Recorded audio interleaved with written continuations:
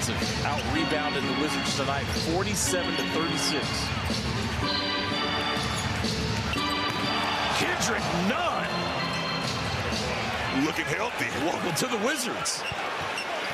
So we take a look at our drive of the game tonight presented by your Washington area Honda dealer. Kendrick Nunn rocking the rim.